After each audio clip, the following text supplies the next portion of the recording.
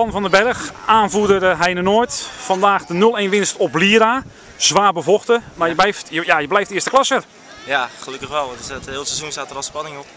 Ik bedoel, je, eh, als, je, als je promoveert, dan eh, weet je dat je een moeilijk jaar gaat krijgen. Maar ja, heel het jaar stond eigenlijk onder hoogspanning. Omdat je gewoon elke, elk punt is kostbaar, zeg maar, die je verliest. En als je dan nu zo afsluit, dan is de ontlading heel erg groot, kan je vertellen. Dan vloeit er ook wel wat traan. Vorige week de 1-1 thuis. Vandaag dan de 0-1 hier in eh, de Lier. Jullie komen vrij vroeg op voorsprong. Ja, dan wordt het eigenlijk eenrichtingsverkeer. Lira zet aan. Ja, eh, jullie hebben gezwijnd. Ja, het was oerlelijk om aan het was niet om aan te zien. Het was oerlelijk voetbal. Ik bedoel, eh, lange ballen. Maar ja, dat is toch de spanning die op de ploeg staat, denk ik. Eerst, inderdaad, de eerste 10 minuten beginnen we goed, krijgen we een vrije trap. Nou, daarna de penalty.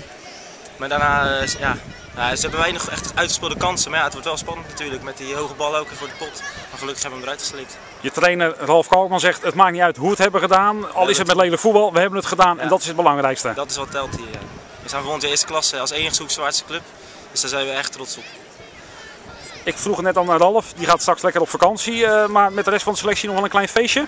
Ja, er is nu eh, internationaal C-toernooi op de voetbal met een af- afsluiting eh, barbecue. Dus gaan we met z'n allen lekker heen feest vieren met heel de vereniging. Want we zijn toch een, eh, ja, een eh, gezellig clubje bij elkaar. Dus met z'n allen vieren dat we gewoon in eerste klas zijn gebleven. gebleven. Nogmaals gefeliciteerd ermee en veel plezier. Dank u wel.